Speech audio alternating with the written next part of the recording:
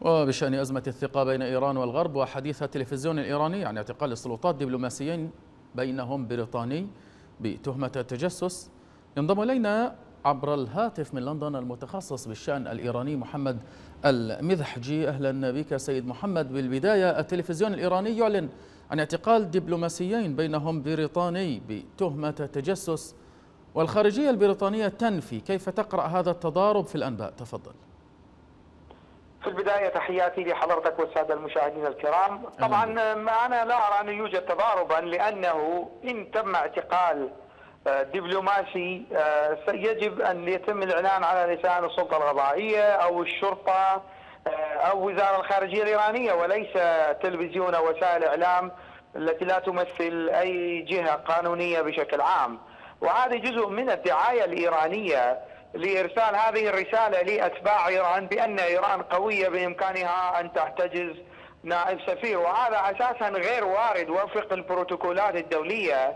آه، لا يمكن لأي دولة أن تعتقل بعثة دبلوماسية في بأي شكل من الإشكال. نعم. كقال من هذا النوع ولو إن سموه تجسس واساسا السفارات توجد في دول أخرى للتجسس هدف نعم. تواجد السفارة جمع الأخبار ونقلها إلى دولة المعنية وبعدها تحليلها لضبط العلاقات مع الدولة المستضيفة لهذه السفارة نعم. فبشكل عام هذه دعاية فارغة إيرانية نهائيا آه، كما ردت بريطانيا على لسان الخارجية يعني وإن كان تم هذا الاعتقال وهذا أساسا غير وارد إيران لن تقدم على هكذا خطوة خاصة هي بالقرب من توصل إلى اتفاق آه، نووي والآن تصبح أنها تخترق أبسط قواعد دولية وبروتوكولات دولية متفق عليها بين جميع الدول بجميع توجهاتها في العالم. ولو كان خبر اعتقال دبلوماسي حقيقي سيد محمد لماذا لم تعلنه الخارجية أو الجهات الأمنية والقضائية؟ هل تعتقد أن إيران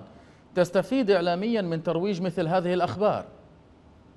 نعم طبعا إيران تستفيد آه، اعلاميا، إيران تعزز معنويات آه، جماعتها خاصة في العراق ولبنان وسوريا وتقول لهم نحن أقوياء، نحن نقارع الاستكبار العالمي كما تصفها إيران وبعدها تجلس معهم في الدوحة وتتفق معهم. نعم. يعني الموضوع له علاقة بالمعنويات وجماعة إيران يصدقون هذه عذرا أنا أستخدم هذه المفردة لأنه توصيف عيني لما تروج له إيران هذه الخزعبلات من خلال الترويج الإعلامي. يعني نعم. المفروض أنه حدث من هذا النوع. إن كان صحيحا وإن كانت إيران قد فعلته يتم تبنيه من خلال سلطة رسمية وليس من قبل جهات إعلامية لا, لا لها علاقة بالموضوع أصلا.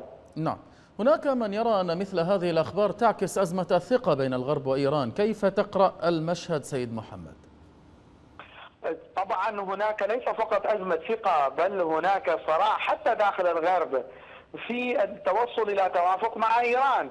أوروبا وتحديدا هنا نتحدث عن فرنسا وألمانيا تريدان التوافق مع إيران لأنهما بحاجة إلى الغاز والنفط.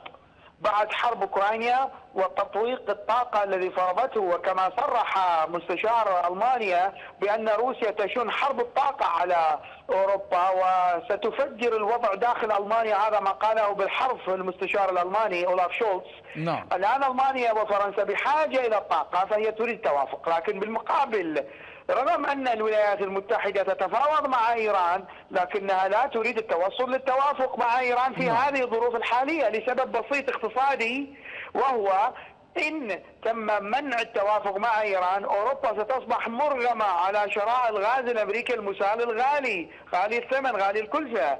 آه، فهذا جزء من صراع اقتصادي كبير آه، ما بين القوى العظمى. الآن إيران تضع تحت هذا الضغط. أوروبا تريد التوافق أي ألمانيا وفرنسا.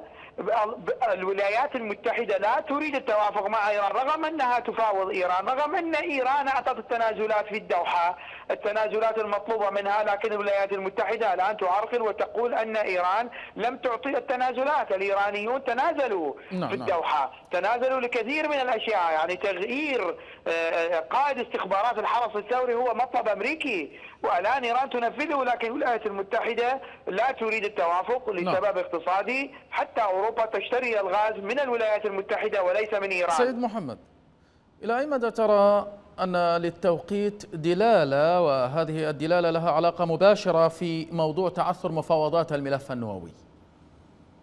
طبعا إيران منزعجة هذا لا غبار عليه وإيران الآن تحاول خسارتها الدبلوماسية وخسارتها في المفاوضات. تجبرها من خلال هذه الدعاية حتى تقول وتبعث رسالة إلى الداخل وإلى الخارج بأنها مسيطرة، إن لم تكن مسيطرة كيف تبادر على هكذا خطوات وتعتقل مواطنين إن لم يكن نائب السفير البريطاني مواطنين نعم. غربيين منهم اليوم إيران اعتقلت مواطن بولندي وقبل أيام مواطن بلجيكي حتى تقول لأتباعها في الداخل والخارج بأنها مسيطرة نعم. على الوضع، لكن الوضع الاقتصادي في إيران لا يوحي إلى ذلك والعكس الآن آه، سعر صرف الدولار في إيران يصل إلى مستويات قياسية 330 ألف نعم, نعم. ريال. إيراني مقابل كل دولار. طيب سيد محمد على ذكر المفاوضات النووية التي تحدثت عنها خصوصا بعد فشل المفاوضات الإيرانية الأمريكية غير المباشرة في الدوحة السؤال هنا إلى أي مدى تتوقع بأن تتحول أو تتغير سياسات أمريكا تجاه إيران؟ سياسة أمريكا إذا أخذناها من زاوية الخارجية الأمريكية فهو فريق بايدن الآن يتحكم بالخارجية الأمريكية يريد إحياء اتفاق أوباما اتفاق 2015 مع إيران. لكن باقي مؤسسات الدولة الأمريكية وحتى داخل إدارة بايدن هناك توجهات أخرى. الكونغرس يعارض الجيش الأمريكي يعارض.